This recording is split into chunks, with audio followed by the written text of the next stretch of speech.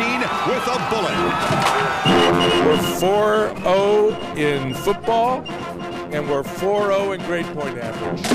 Vanderbilt's going to win, and we're live on ESPN. Woo! Let's go! They can stuff the Auburn run, force the Auburn pass with this crowd guaranteed upset tonight. This is really a great week to announce game day in the same week where our university announced that you know our students now won't have to borrow money to come here. So we, you know, I mean, two great things for a great university on the same week. If Auburn doesn't do a better job moving the football tonight, they're going to get kicked tonight. I, I take Vanderbilt. All right! Let me tell you, Kenny, you're a smarter guy than I thought. Give me that thing here. Let's see what you're Look doing. at this here. Look at this thing. Forget it.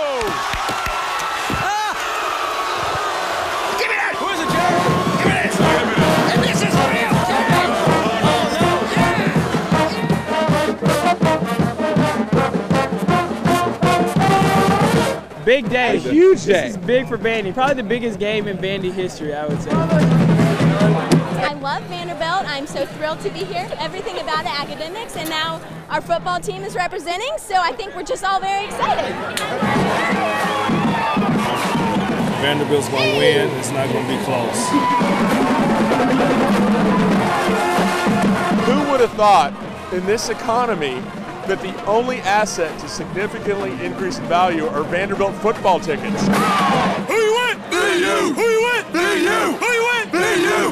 The unbeaten Commodores, ranked for the first time since 1984, face their toughest challenge of the year, the number 13 Auburn Tigers.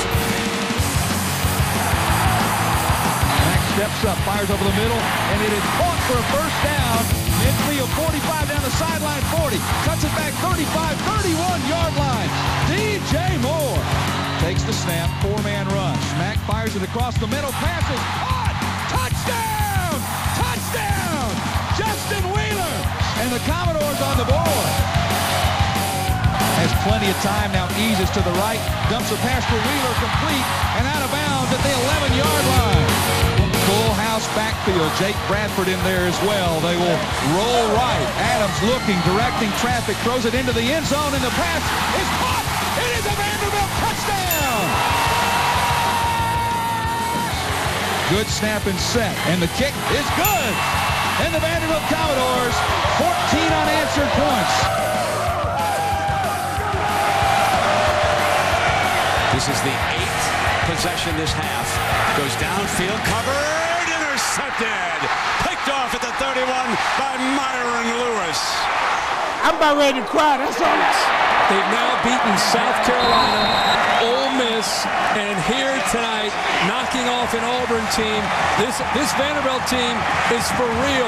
They're the real deal, and I think they're going to move up into the top 15 in the country, and deservingly so.